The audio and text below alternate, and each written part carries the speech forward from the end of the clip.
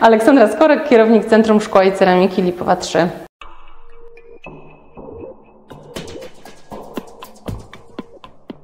Znajdujemy się w Centrum Szkła i Ceramiki przy ulicy Lipowej 3 na krakowskim Zabłociu. Centrum Szkła i Ceramiki jest częścią sieci badawczej Łukasiewicz, Instytut Ceramiki i Materiałów Budowlanych.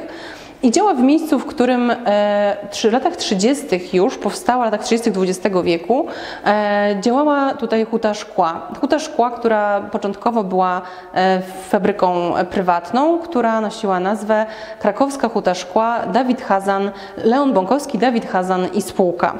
Ta huta powstała dokładnie w roku 1931, w roku 1932 rozpoczęto produkcję i powstawały tutaj głównie butelki, no były to przede wszystkim butelki na wódkę.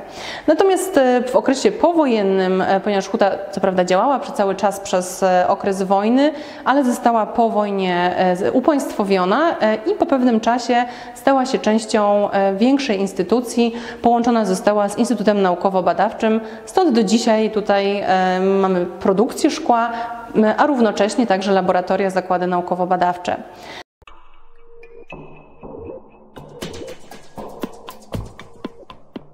Jeżeli chodzi o to, co mamy tutaj dookoła siebie, czyli, e, czyli szkła kolorowe, szkła artystyczne, są to wszystko szkła formowane ręcznie, powstające tutaj przy ulicy Lipowej w Hucie od końca lat 60., dokładnie od roku 1969 do końca lat 90., czyli do roku 1998, czyli prawie 30 lat produkcji szkieł artystycznych, które określane są e, już teraz oficjalnie, wcześniej troszkę nieoficjalnie, teraz już jest to uznawane przez, e, także przez historyków sztuki, przez e, historyków designu, za, nazwane są szkłami krakowskimi. E, jeżeli chodzi o projektantów, którzy te e, szkła wykonywali e, i o to, co jest takiego w ogóle w tym szkle niesamowitego, czym ono się wyróżniało na tle szkieł powstających w latach 60. czy 70. w Polsce, to są szkła, które powstały w wyniku współpracy tak, trzech grup osób, tak możemy powiedzieć. Czyli z jednej strony właśnie projektantów, artystów, którzy te szkła najpierw musieli po prostu narysować na, na na papierze, bo tak powstaje projekt, czyli poprzez narysowanie na kartce szkła, które przede wszystkim chodzi o to, żeby szkło to miało e, rzeczywiste wymiary w skali 1 do 1. Chodzi o to, aby hutnicy byli w stanie później odwzorować ten wzór, żeby mieli e, świadomość, jaka ma być e, skala wyrobu. Potem z, z, projektantami współpracowali e, oczywiście hutnicy, e, artyści też tak naprawdę, rzemieślnicy, e, którzy posiadali umiejętność formowania gorącego szkła za pomocą tradycyjnych, metod tradycyjnych narzędzi e, i równocześnie współpraca jeszcze tutaj, i to było takie wyjątkowe, jeśli chodzi właśnie o instytut, e, te lata, w których powstawały szkła, e, to lata, w których tutaj istniał Instytut Szkła i Ceramiki. To jest ta najbardziej znana nazwa i najbardziej bardziej kojarzona ze szkłem krakowskim. No więc oczywiście e, naukowcy, technologowie szkła, którzy przygotowywali receptury mas szklanych. Czyli współpraca tych e, trzech grup osób, projektantów, hutników i technologów szkła doprowadziła do powstania tych pięknych wyrobów.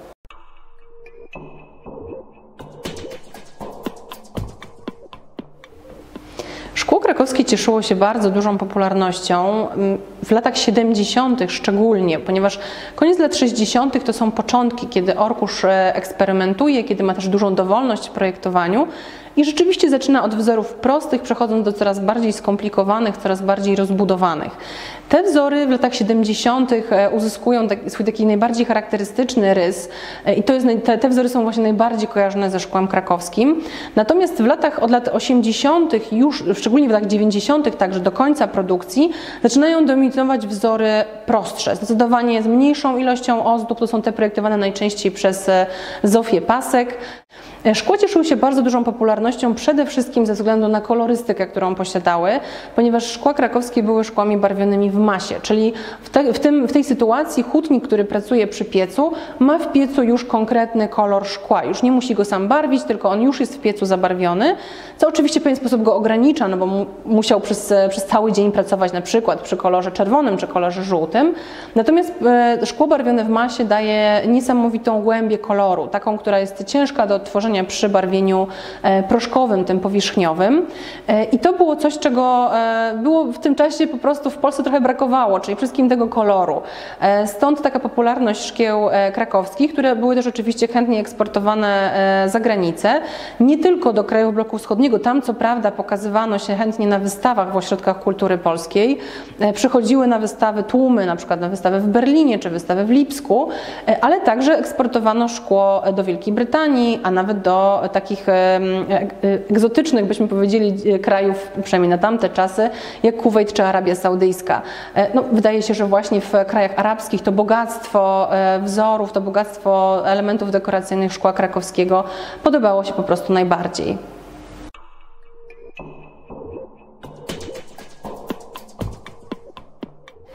Głównym projektantem Instytutu w czasie, kiedy powstawały szkła krakowskie, był Jerzy Słuczan-Orkusz. To jest najbardziej znana postać związana ze szkłem krakowskim, chociaż oczywiście e, projektował i szkła i wcześniej, e, i później po zakończeniu współpracy z Instytutem. E, I znany jest, to jest bardzo barwna postać, bo on znany jest nie tylko z projektowania szkieł, ale także z tego, że był osobą pełną humoru, pełną energii, świetnym organizatorem. Także wszędzie, gdzie się pojawiał, e, wprowadzał e, bardzo dużo e, optymizmu i bardzo dużo takiej właśnie pozytywnej energii. Także tutaj na Lipowej od końca lat 60. tworzył ten ośrodek wzornictwa, zakład wzornictwa, który zajmował się projektowaniem szkieł artystycznych. Wcześniej współpracował, wcześniej pracował Orkusz także z, z, przy projektowaniu szkła oświetleniowego. Był także autorem ośrodka wzorcującego w hucie szkła kryształowego Julia na Dolnym Śląsku. No, zresztą był absolwentem Wrocławskiej Akademii e, Sztuk Pięknych, także związany był początkowo właśnie z Dolnym Śląskiem. E, później także z Poznaniem, e, z Krakowem przez pewien czas, tutaj te lata, które spędził w Instytucie, a na koniec współpracował, na koniec swojej kariery jako projektant, współpracował z Hutą Szkła w Tarnowcu. Tutaj, jeżeli chodzi o, o Kraków, tworzył, utworzył właśnie ten ośrodek wzorcujący. Początkowo działał sam, potem dołączyli do niego inni projektanci. E, potem e, Orkusz na pewien czas e, zakończył współpracę z Instytutem, następnie powrócił, także jest to kilka barwnych lat działalności Orkusza tutaj na Lipowej. Orkusz zresztą takie znane jego powiedzenie mówił, że nic nie ma ważniejszego, nic piękniejszego na świecie niż szkło i kobiety, także doceniał piękno w każdym wymiarze. Mm, jeżeli chodzi o jego projekty, one początkowo e, były bardzo stonowane tak naprawdę, to znaczy były to e, szkła, e, projekty dość proste, natomiast później z biegiem lat te, mm, te projekty stawały się coraz bardziej rozbudowane, coraz bardziej bogate, tak można powiedzieć, nawiązujące do szkieł, do szkieł barokowych na przykład, dużo elementów doklejanych przez hutników na gorąco, czyli różnego rodzaju szczypanki, różnego rodzaju e, uszka, Mm, takie, tego typu e, elementy, które, z których zresztą szkło krakowskie jest najbardziej znane i oczywiście e, Jerzy Słuczan-Orkusz również. E, do, do, obok Orkusza, do takich ważnych projektantów działających tutaj na Lipowej należeli również Marian Gołogórski, Barbara Świstacka, Michał Jakubas czy Zofia Pasek. Przez pewien czas z Instytutem pracował, współpracował również Ryszard Serwicki. Także kilka ciekawych nazwisk. Każdy z artystów oczywiście posiadał swój własny styl, ale równocześnie tworzyli projekty e, na tyle charakterystyczne, że, że możemy właśnie mówić o tym szkle krakowskim. Stworzyli pewien, e, pewien styl, e, który jest bardzo rozpoznawalny, no i do dzisiaj bardzo chętnie te szkła są kolekcjonowane. Hutnicy, którzy pracowali przy Lipowej, zajmowali się nie tylko realizacją projektów, które zostały zlecone przez projektantów działających w instytucie, ale również wykonywali inne zamówienia przygotowywane przez zewnętrznych czy projektantów, czy e, architektów. Jednym z takich ciekawszych zamówień było zamówienie realizowane dla filmu Kopernik, e, gdzie to hutnicy z Lipowej przygotowywali szkła, oczywiście wzorowane na szkłach średniowiecznych, późnośredniowiecznych. E, poza tym ciekawym zamówieniem była również e, ścianka, którą e, wykonali hutnicy, szklana ścianka. To właśnie na, na, na tle ścianek, różnych ścianek, czy też dekoracji ceramicznych, które oczywiście w latach 70., 80. powstawały w wielu budynkach użyteczności publicznej. Tak samo rzadko, rzadko kiedy, rzadziej zdecydowanie powstawały takie obiekty szklane. Natomiast tutaj hutnicy z Lipowej właśnie mieli okazję przyczynić się do powstania takiej dekoracyjnej ścianki z szklanych elementów, która znajdowała się e, w krakowskim hotelu Forum w kawiarni. Szkło krakowskie przeżywa teraz swój renesans, zresztą jak wiele eksponatów, wiele wyrobów e, z czasów PRL-u.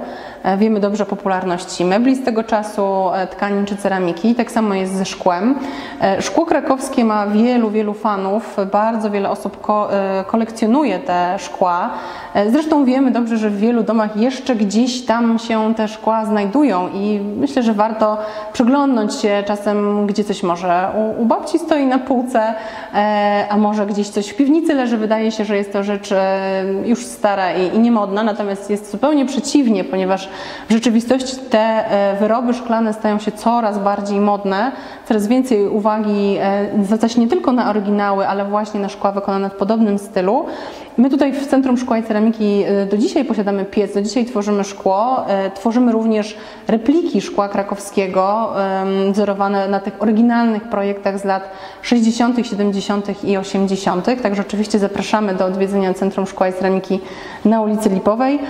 I tak jak wspomniałam, do rozglądnięcia się wokół siebie e, w własnym mieszkaniu czy w mieszkaniu swojej rodziny, bo może się okazać, że gdzieś tam znajdzie się jakieś naprawdę wartościowe cudeńko.